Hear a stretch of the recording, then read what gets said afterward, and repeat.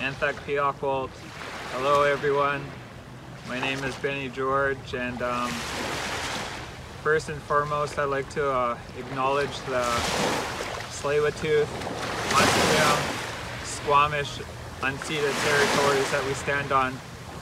Aitsapka and um, my name is Benny and I come from uh, the Cowichan territory which is on the island, Vancouver Island and um, I'd like to, I, I, am honored and that I get to bless the, um, uh, your day with, uh, with a song, a prayer song, or a song of remembering. And um, this song that I share with you comes from the Cowichan uh, land there, and we we use it for our dancing and use it for ceremony, for blessing, for healing. The song I will share with you, Haitsapka, thank you all.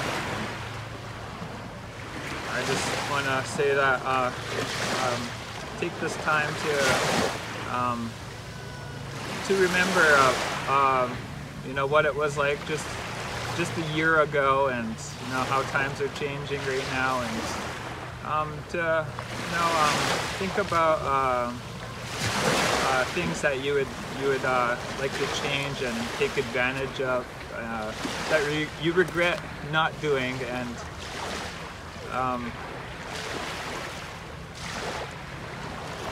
that you regret not doing and uh, um, how, how, how can we um, help and, um, um and uh, to bring uh, more awareness and, uh, to spread more love and to, to elevate ourselves and to really take the time to acknowledge uh, Mother Earth, the creator that we stand on. Um, so I thank you all. So remember all your, um, your families that you cannot visit right now, your grandparents to remember to FaceTime and Zoom them as much as you can, um, and your kids to hold them tight keep all your family and friends in your mind and in your heart.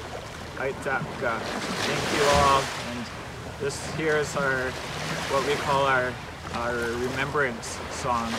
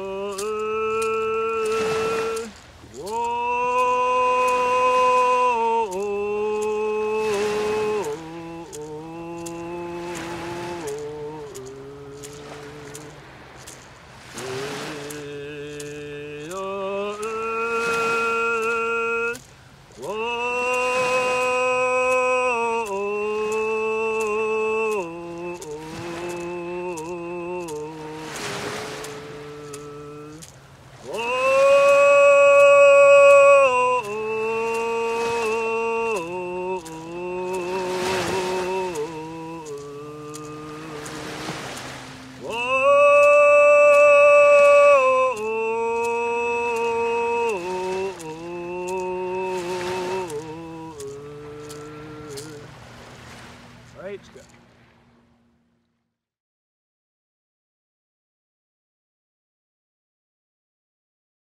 Hello, welcome to Surrey Interfaith Council's uh, showing of the World Interfaith Harmony Week events in our neighborhoods. In 2010, King Abdullah of Jordan asked the United Nations if they would declare a week during the year as World Interfaith Harmony Week to showcase all of the communities of faith, the people of faith, people of the communities around the world that we are working together, we're learning from each other, we're participating in events that each other holds, and we're working on initiatives to make our communities a better place, serving folks who are in need, which ranges from being unhoused all the way to seniors in the community who need services, uh, making sure that, that uh, where there's a gap and no services, that somehow or other people from the various communities can get together in faith and showcase faith in action. We would like to acknowledge that here in Surrey White Rock Delta, that we're on the unceded traditional territories of the Coast Salish people, the Kwantlen, the Katzie, the Tsawwassen, and the Semiahmoo First Nations. So we give thanks for being able to share this incredible space with the first peoples of the land. We look forward to you having the opportunity to spend an hour or so a day during February 1st to 7th and enjoying the array of different activities, the tour of sacred spaces, the stories of faith, the spoken word and music uh, at the end of the, the week and um, along the way other other activities that have been planned, dialogues and, and um, get-togethers.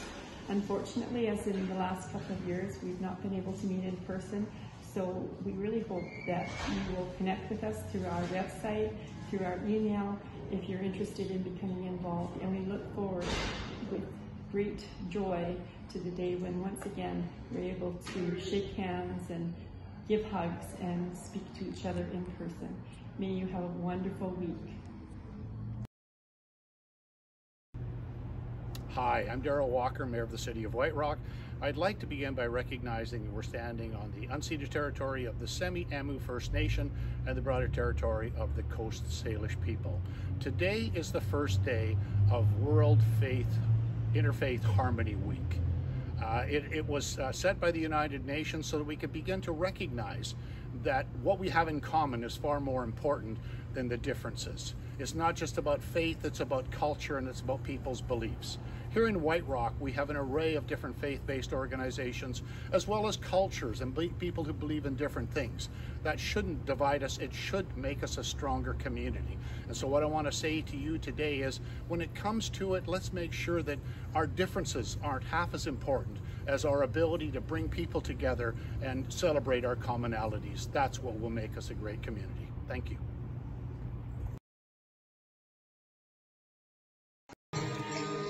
On behalf of International Society for Krishna Consciousness, I express my sincere gratitude for the opportunity to participate in this interfaith conference. International Society for Krishna Consciousness, popularly known as the Hare Krishnas, was founded by His Divine Grace A.C. Bhaktivedanta Swami Srila Prabhupada in the year 1966. Today we have more than 800 centers all around the globe and became a truly united spiritual movement transcending various cultural, racial, and geographical boundaries. Although this movement is seen as a section of Hindu religion, it actually tries to revive the original Sanatana Dharma, means eternal religion. The word Hindu was introduced in the recent history. Whereas Hindu religion is portrayed as sectarian, Sanatan Dharma is non sectarian. The word religion in English means a set of faith. The faith changes depending on time, place, and circumstances, but Dharma does not. Dharma actually means an inherent quality of any object. For example, Dharma of fire is to be light and heat. One cannot separate heat and light from fire. Similarly, the Dharma of the eternal spirit soul is to serve the Supreme Spirit eternally. Service cannot be separated from the soul, just as we see that everyone is serving someone else in this material world other than God. The goal of any religion is to revive that lost connection and loving service of the spirit soul to the Supreme Being. The core of our philosophy is that God is a person whom we call as Krishna. Others may call him as Allah, Jehovah, Christ, etc., but all of them refer to the same God. A true lover of God will recognize him just as a dog recognizes his master, irrespective of his different dresses that he may wear. As per our scripture, Krishna is all attractive and all loving Supreme Personality of Godhead. As a loving Father, He is longing for our relationship, which we have forgotten in this pursuit of enjoying independently of Him. According to our scripture, God is the seed giving Father of all living entities. Aham Bija Pradapita. I am the seed giving Father of all living entities. Krishna says in Bhagavad Gita 14.4. However, forgetting that relationship, we are struggling in this material world, which is temporary and full of misery. How to regain that relationship? First step is to realize that we are not this body but a spirit soul, part and parcel of the Supreme Spirit. Mamai Vamsa Jiva Loka Jiva Bhuta Sanatana. Krishna says that the living entities in this conditioned world are my eternal fragmental parts.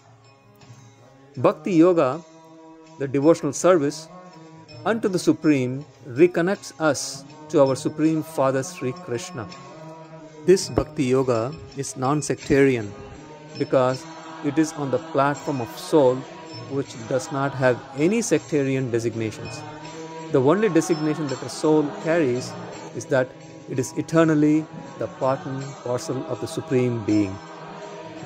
Therefore, we encourage everyone to take up the process of Bhakti Yoga, which begins with the chanting of the holy name of the Lord as enjoined in all scriptures. As per Vedic scripture, the chanting of Hare Krishna, Hare Krishna, Krishna Krishna, Hare Hare, Hare Rama, Hare Rama, Rama Rama, Hare Hare is considered the topmost form of deliverance from this miserable material existence. One can chant any name of the Supreme Lord as prescribed in one's own religious scripture to attain the same benefit. Following our founder Acharya, spiritual master, His Divine Grace A.C. Bhakti Vedanta Swami Srila Prabhupada, our mood is to give the love of God to anyone and everyone without any discrimination and encouraging one to follow the religious principles as given by the authority without any mental speculation or misinterpretations. We welcome everyone wholeheartedly to come and participate in our Sunday service at 5:30 p.m. to learn more about our philosophy and culture at 5462 Marine Drive, Burnaby, BC. Thank you. Hare Krishna.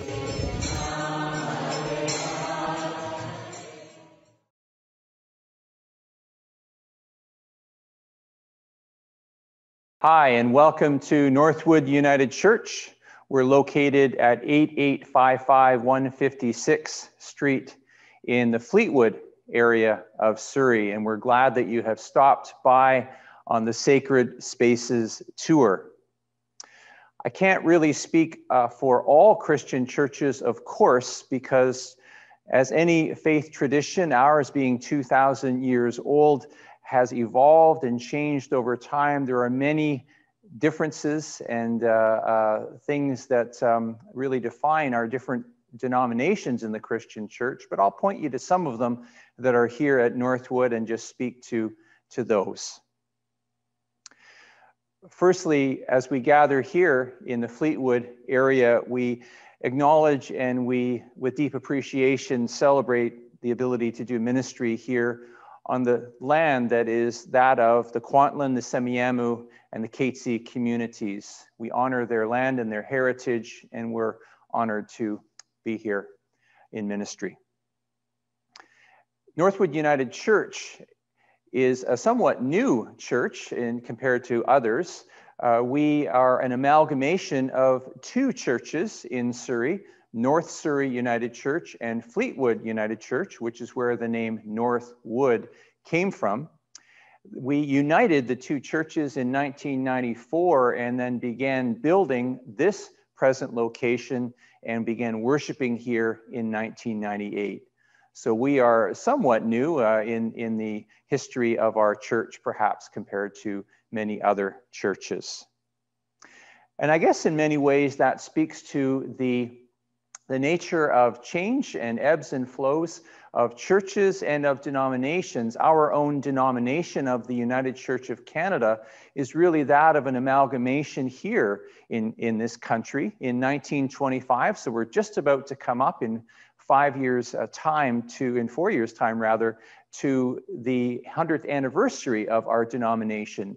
In 1925, the United Church of Canada was formed by an act of parliament by amalgamating the Presbyter- many of the Presbyterian churches, the Methodist churches, and the Congregationalist churches here in Canada into one church called the United Church of Canada. By doing that, we became the largest Protestant church in, uh, in Canada, and we continue to offer ministry in various uh, parts and cities and uh, remote areas and large cities throughout the, the country. At Northwood, there are various entries in which you can come into the church. And the reason I, I note that are that it's very important that we welcome people with the kind of spirit that Jesus welcomed people into faith and into community. Our scriptures talk about Jesus welcoming even the little children who back in his day were not valued as we do today, welcome the little children onto his knee. So we have people stationed at all of our welcome point, at all of our entrances to welcome people into the church and that's a very important part is that people feel welcome and included as they come and gather and become part of a spiritual family who worships together, who learns together and grows together. Following the welcome, as we physically come through the entry, there is a symbolic form of welcome that we also participate here at the church. I'm standing at our baptismal font and one of the things that we do is we celebrate the welcome that we know that God offers us through Jesus Christ in our baptism. Now, this, as you can see, is a fairly small baptism, and we, baptismal font, and we just have little bits of water that go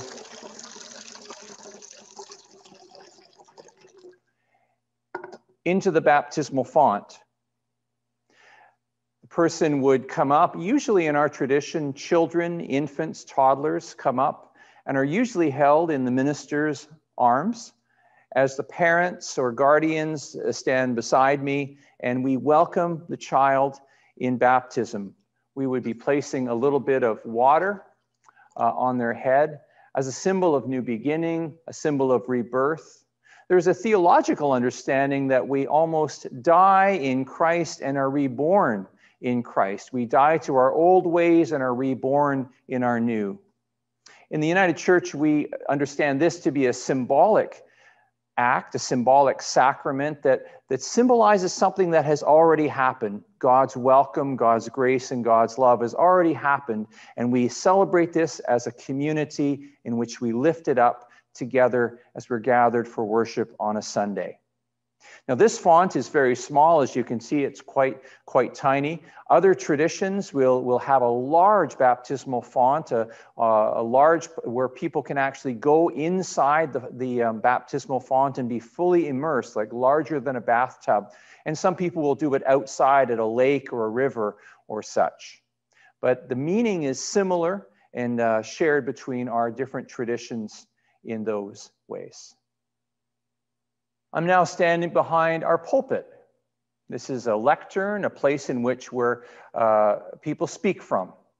Of course, the most people are speaking from the Bible. We would be reading scriptures from the Bible. The Bible is our holy book. It's comprised of 66 various books that are gathered together, stories that, that gather from the, the Old Testament, which is shared between the three monotheistic traditions of Islam, Judaism, and then, of course, Christianity. And we read uh, these scriptures. Uh, one theologian once said that we read with the Bible in one hand and the newspaper in the other. It would not just be the minister that would be at the pulpit, it would also be people from the congregation, uh, lay people that would come up and read scripture and offer, offer reflections and stories and prayers as well. It's very much a shared learning, a shared uh, uh, learning uh, from all of the people as we gather together and together seek to hear God's word that is shared. And so we're here at the pulpit, I, along with many other people, sharing our faith stories and growing together. We next gather behind the table. And a number of things happen here at the table, and I'll just go through them one by one. We gather together and celebrate Holy Communion.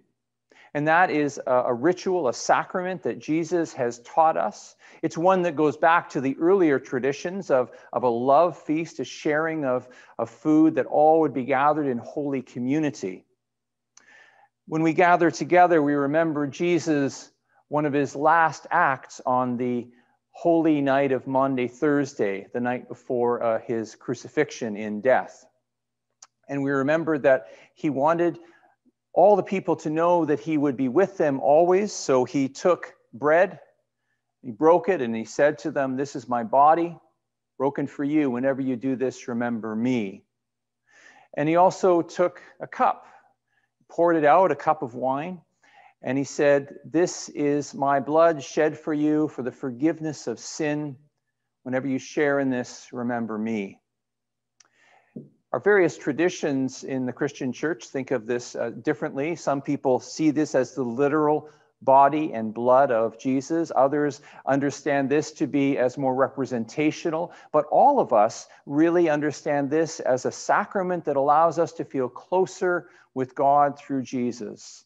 It's something that is uh, celebrated together on a weekly basis in some churches and on a monthly basis in, in, others. So it does vary and change. But the common aspect of it bringing us together in holy connection and holy communion with God is remain between all of our traditions as we celebrate Holy Communion in bread and in juice or wine together.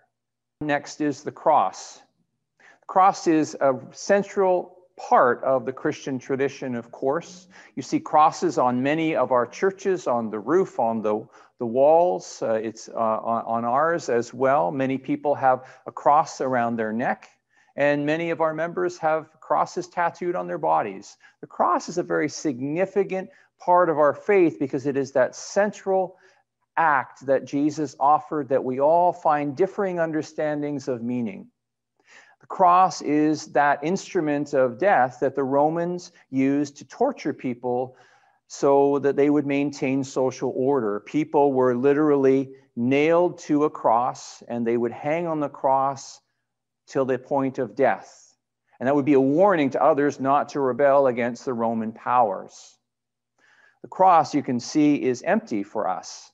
And it's a reminder that while Jesus was crucified on a cross, that he rose on the third day. Some Christians understand a literal meaning of, of Jesus' death and resurrection, literally taking away, taking our sins on, that they would be, be removed from us, and that we would be freed through the death and resurrection of Jesus. Other Christians understand the death and resurrection of Jesus more from an understanding of, of seeing this as the, the ending and the new beginnings that God will continue to bring. But for all Christians, the cross is a central part of our faith, a reminder that death is not the end, and that indeed God brings resurrection, transformation, and hope and light at the end of the journey. Good Friday was the day of Jesus' death, the day after the Holy Supper occurred. And Jesus' death occurred on the Friday, and on the third day, on the Easter sunrise, they found that the tomb was empty and that Jesus had indeed risen. So the cross is a very strong and powerful symbol for our faith. And finally, at the table, you'll see a candle in front of me. Candles are lit for a variety of reasons, but the one candle that's on the table is a reminder that Jesus is understood to be the light of the world. Jesus once said that, that the darkness would not put it out. The light continues to shine. And Christians see Jesus to be the light to the nations, offering light for our journey, light in our darkness, hope for the days ahead. When the candle is lit here, it's a reminder that Jesus' presence is with them tangibly in that light. Candles are also lit in many churches as a form of prayer, and we continue to find a depth of meaning through the light. Another thing that happens at the church, and I'm just holding a symbol of it, is fellowship. It's food and fellowship. Holding my coffee mug. And one of the things that we do after we gather in worship is we gather around food and drink. It's important for us to have fellowship because at that time, that's the part where life is shared, where people hug, at least before COVID, and I know after we will one day as well where people embrace one another, where we share our stories, share food, share life. Fellowship is a very significant part of, of life in the Christian tradition, and we look forward to that time when we can do it once again. So I just lift up that as another important part of our tradition, and probably a part that we all share in all faith traditions as well. Well, I want to thank you for dropping by Northwood. I know we only have a few minutes at each stop, but this virtual tour has provided us an opportunity to share a few of the features of the Christian church and, and really see how some are different and some are similar. As you go forth on your, your next towards the next stop, I just offer you this blessing. Go forth in the name of God who created you in abundant love. Go forth in the name of Christ who defeated death and offers us all new life. Go forth in the name of the Holy Spirit that blesses us and guides us on the journey. Go forth now and always in peace. Thanks for coming.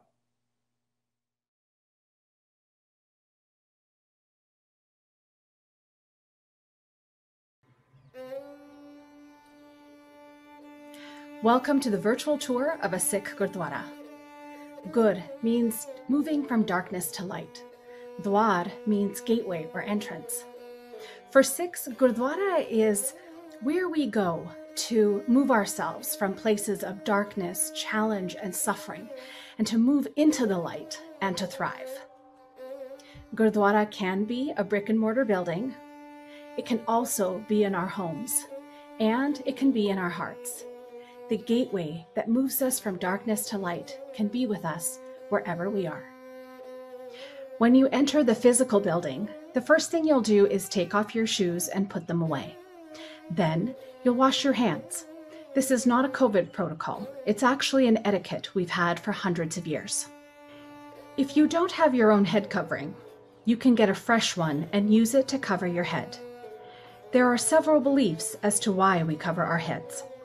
Some believe that this is their way of signaling that they take full responsibility for where they are currently at figure out what they need to change, and are open, mind, body, and soul, to make this happen.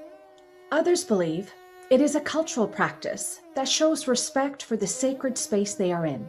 Still, others believe that it's a sign of humbleness and modesty. So, which explanation resonates with you? If you wish, you can go into the Langar area and have Langar, a free vegetarian meal. Before COVID, we would sit together in this area and share langar. Now, it is offered as a takeout meal. Langar is cooked by volunteers of all genders and all ages.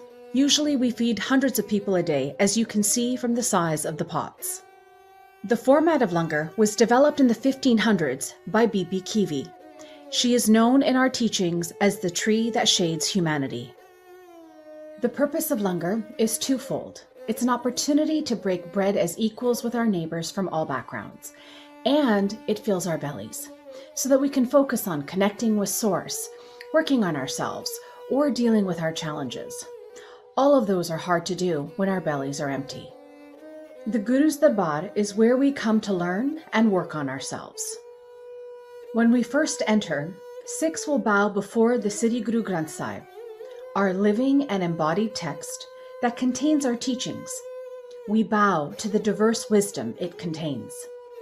Then we go and receive prashad, a sweet that is made out of flour, butter, sugar, and water.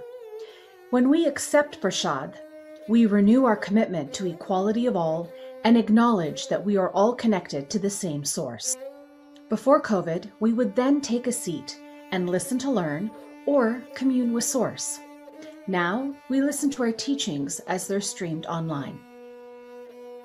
In recent decades, many gurdwaras have begun the process of decolonizing. Sikhs are working to reclaim our tradition of having teachers in our gurdwaras of all genders and ages. Many gurdwaras are providing opportunities for all to learn our protocols. The practice of sitting according to gender is a holdover from cultural norms in India from many decades ago. Sikhs in India today don't do this. They sit together as families. As we continue to decolonize in Canada, this practice is also being looked at. Our ultimate teacher is the Sri Guru Granth Sahib. It contains over 6,000 stanzas in over 1,400 pages. It has multiple languages, Writers from diverse cultural and faith backgrounds have contributed to it. It is also set to music. This is why kirtan, devotional singing, is such an important practice for Sikhs. Interfaith harmony, which is really interfaith relationships of mutual respect and cooperation, have been part of Sikhi right from the beginning. Our first Guru, Guru Nanak Dev Ji, and our first Sikh, Bibi Nanki Ji, his sister, developed relationships with neighbors from many faiths. Some of these neighbors were spiritual teachers in their own path, and some of their teachings have been incorporated into the Sri Guru Granth Sahib, the teachings that we Sikhs bow to today. Neighbors from different faiths and cultures working together for the well being of all is a fundamental practice in Sikhi. We call it Sarbat da Bhala. Sikhi is not an organized religion, it's a way of life that is rooted in the beliefs that we are all connected to the same source and each other, that we earn abundant, honest livings and share what we earn, that when the going gets tough, we commit to moving into expansive, thriving resilience. We help and work towards the well being of all of us. And we are not limited by our DNA or the circumstances of our birth. So I will end this tour with the Sikh greeting Vaheguru Ji Ka Khalsa. Hey neighbor, do you remember that your true authentic self is connected to this amazing source that helps us shift from darkness to light. Vaheguru Ji Fateh. And do you remember that everything you do and don't do is connected with that same source?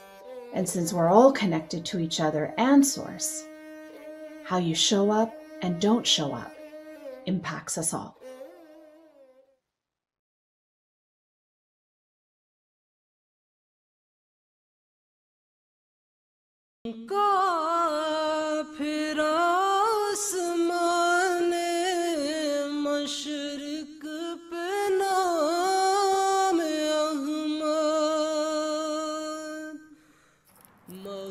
Assalamu alaikum wa rahmatullahi wa barakatuhu. May peace and blessings of Allah be upon you. Allah says in the Holy Quran, I have not created the jinn and men, but that they worship me. For this very purpose, Muslims across the globe build mosques to worship the Almighty. One such example of a mosque is right here behind me, the Baitur Rahman Mosque in Delta, British Columbia. My name is Lukman Hashmi. Let me take you on a tour of this beautiful mosque. The Ahmadiyya Muslim community are Muslims who believe in the Messiah, Hazrat Mirza Ghulam Ahmad, who founded our community in 1889 as a revival movement within Islam. Under the leadership of Khilafat, the Ahmadiyya Muslim community has built over 16,000 mosques, one such example being Baitur Rahman. The foundation stone for this mosque was laid in 2005 by Hazrat Mirza Masroor Ahmed, the fifth Khalifa of the Ahmadiyya Muslim Jamaat. After 16 years, the mosque was completed, and in 2013, it was inaugurated by Hazrat Khalifatul Masih V. The word mosque means place of worship. In Arabic, the word mosque is pronounced masjid. It is a place of spiritual development because all activities in a mosque are for the Almighty's sake. Here, there are facilities for spiritual advancement, such as religious classes for both adults and children, and panel discussions tackling contemporary issues. It is also a place where Muslims offer their prayers five times a day. In the early years of Islam, the Prophet Muhammad, may peace and blessings of Allah be upon him, conducted all public affairs in his mosque. He would meet all delegations, whether Muslim or non Muslim, in the mosque. When you first arrive at Baitur Rahman, you will notice the minaret and dome, both of which are plated with reflective aluminum. Historically, the minaret was used to give the azan, the call to prayer. The dome was constructed to help create better acoustics and magnify the sound of the sermon to all who attended. As you walk inside, you will see the heart of the mosque, the prayer hall. This particular hall can accommodate up to 1,000 people. You will notice the dome allows the hall to fill with natural light. You will also see the beautiful calligraphy. All mosques are designed in such a way that they are always facing the holy Kaaba. The Baitur Rahman Mosque also has a fully functioning gymnasium, which is used for sports. But it can also accommodate an additional 900 people. This hall is used for symposiums, banquets, and other special events. In addition, the Baitur er Rahman Mosque also has a library, daycare center, kitchen, guest accommodations, conference rooms, office space for volunteers, and a fully equipped and fully functional funeral preparation room. Our mosque is open to the public. Over the years, we have entertained students from different schools. We have held multi faith events and have opened our doors to guests of all denominations and all walks of life.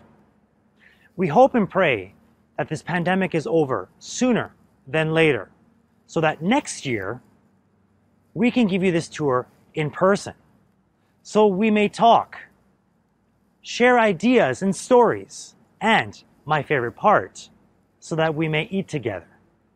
Thank you, and God bless you.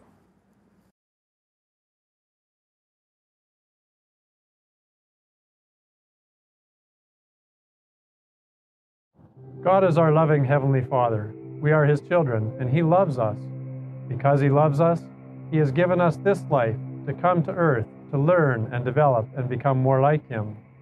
Because He loves us, He's given us a plan so that we can return and live in His presence one day.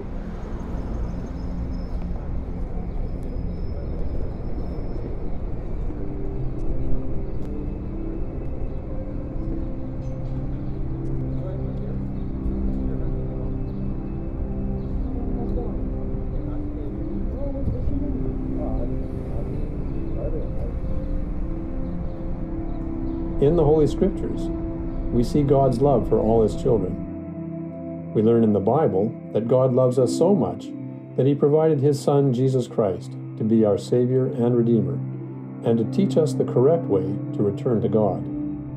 During His mortal ministry, Jesus Christ taught that the gate to God's kingdom is through the ordinance of baptism by immersion. Baptism is symbolic of Christ's death and resurrection. When we are baptized, we symbolically put away or lay down our old life and are reborn or have a newness of life.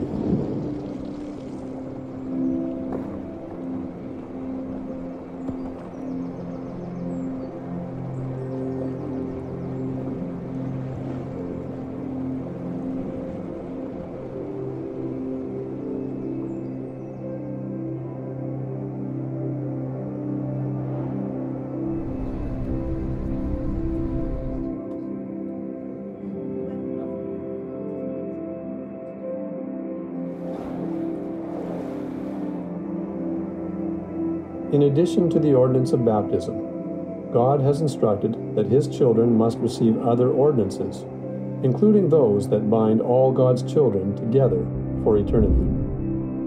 These sacred ordinances are only performed in holy temples. Unlike our chapels, which are for Sunday worship and open to all,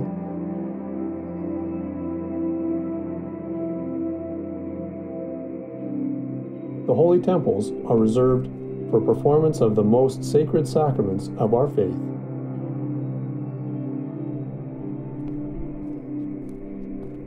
including the performance of baptism by proxy for deceased ancestors. Thus, God, in His infinite wisdom and mercy, has prepared a way for all His children to have an opportunity to accept these ordinances if they so choose.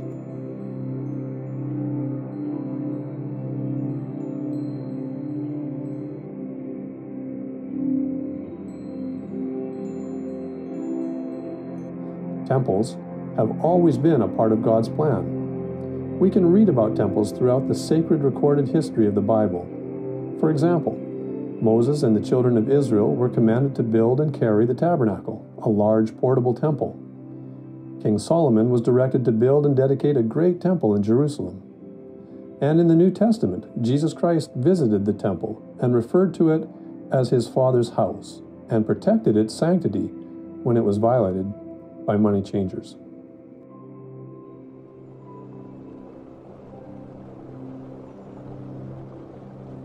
Our message to the world is that God has revealed his truths again to his children on earth.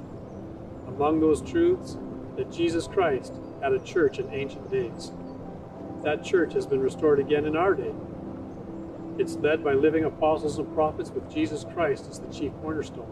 In addition to the message of God's love for all his children, and of the message of the restoration of Christ's ancient church in our day, we also declare that along with the Bible, another ancient witness of Jesus Christ has been given. This witness is known as the Book of Mormon, another testament of Jesus Christ. We invite you to join us for services in one of our chapels and to read the Book of Mormon and find out for yourself if it truly testifies of Jesus Christ.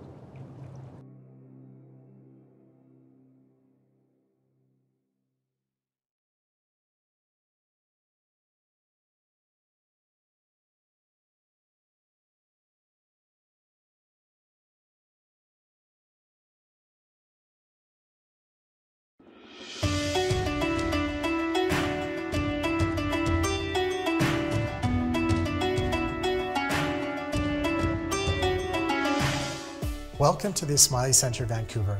We hope this mini tour is valuable and educational for those participating in Interfaith Harmony Week.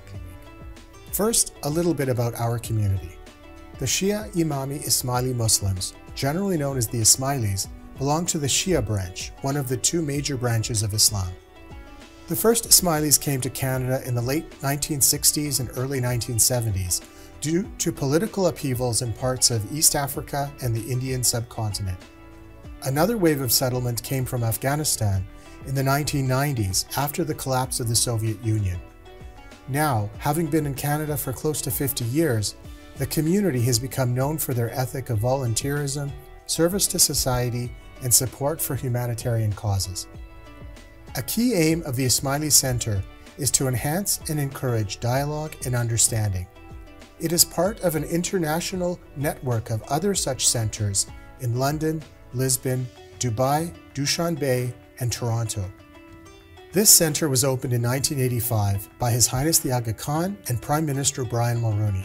It is a representational and ambassadorial building, one that symbolizes Canadian Ismaili Muslim values and the growing understanding of Islam in the West. When you visit the center, the first place that you encounter is the courtyard. There you will find the tulip fountain. In many faiths, water is the symbol of purity and is also the source of life. The concept of layering is also expressed in the courtyard with two sets of trees, walkways, and beautiful landscaping. The front face of the building is made of Carrara marble, Italian sandstone, and concrete. The large portal entrance is an architectural element commonly seen in places of worship in Persia, India, and Central Asia, and it is meant to instill a sense of humility before the Creator. As we move from the courtyard into the building, we enter the loggia or lobby. The building has three floors. This is the main level, with a social hall upstairs and an administrative wing and classrooms downstairs. When the community comes together for prayer, they meet here before they enter the prayer hall. Throughout the building, you will find subtle geometric patterns, stylized calligraphy, and visual cues that speak to the key concepts of light, symmetry, and balance that form the three key architectural concepts of the center. As we make our way to the upstairs social hall, you will notice a uniquely designed staircase consisting of four octagons of concrete, perfectly aligned. This feature was built as a reminder of the minaret seen in some Muslim places of worship. As you walk up, you will notice the tapestries found throughout the building, which are mostly 16th and 17th century Turkish kilims. The social hall is a multifunctional and multi-purpose room. Here we have weddings, dance performances, musical concerts, lectures, fitness classes, as well as high profile events such as citizenship ceremonies, art exhibits, and meetings of government and civil society organizations. On either side of the room, you will find smaller alcoves or niches, which allow for small groups to meet and for individuals to find a quiet place to sit. We will now make our way down to the lower level administrative wing, to visit the council chambers. The council chambers is a room where decisions related to the social governance of the community take place. Here, volunteer leaders use their knowledge, resources, and expertise to serve on various boards and portfolios that deliver programming in the areas of health, education, human resources, arts and culture, economic planning, and social welfare. These institutions work together to improve the lives of community members. On the far wall is the personal standard of His Highness the Aga Khan, and next to it are numerous plaques and awards that speak to the community's engagement and outreach with the wider society. One such program is called the Ismaili Civic, which is a volunteer initiative to improve the quality of life of Canadians. The Ismaili Civic was launched in July 2017 to coincide with His Highness's Diamond Jubilee and Canada's 150th year as a nation. The aim was for the community to give 1 million hours of volunteer service to the wider community over a period of one year. This goal was reached within 10 months, and the initiative continues to this day. The Ismaili Civic has now become a permanent event where the last Sunday of September is known as the Ismaili Civic Day. Lastly, one of the most inspiring spaces of the Ismaili Center is the immense high domed prayer hall. While not included in this footage, we would very much like to invite you to see it in person in the not too distant future. This brings us to the end of the virtual mini tour of the Ismaili Center Vancouver. We thank you for joining us and wish you a safe and successful Interharmony Week.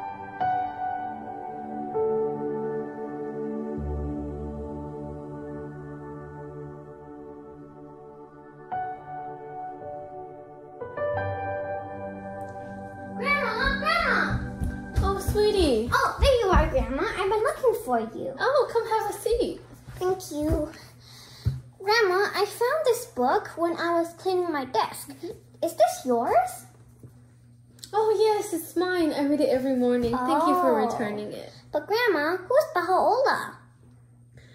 Well, you see, throughout the history, God sent down divine educators to the humanity, and they also call the manifestation of God. Well, they provide the basis of the knowledge for the advancement of our civilization. And Baha'u'llah is the most recent one. And us, his followers, we're called the Baha'is. Did Baha'u'llah have a mission like the other manifestation of God? Baha'u'llah taught us the importance of oneness of our mankind and the abolition of all prejudice, the equality between men and women, and the importance of the harmony that exists between religion and science. Oh, I totally agree. But Grandma, what is there any beliefs in the Baha'i community? Baha'is believe that truthfulness is the foundation of all human virtues. It's very important that we do not lie. Oh, but does that mean if I become Baha'i that I can never ever lie? No, uh, we don't do that because Baha'u'llah told us so, and we know that's what's right for us. Oh, yeah. I think that makes sense. Where do Baha'is pray? There are 10 houses of worship all across the world, located in Sydney, Australia, Battambang, Cambodia, Santiago, Chile, Frankfurt, Germany, New Delhi, India, Panama City, Panama, Apia, Samoa, Wilmette, United States, Kampala, Uganda, and Norte del Cauca, Colombia. Oh, thank you, Grandma. I think I learned a lot today. You're welcome.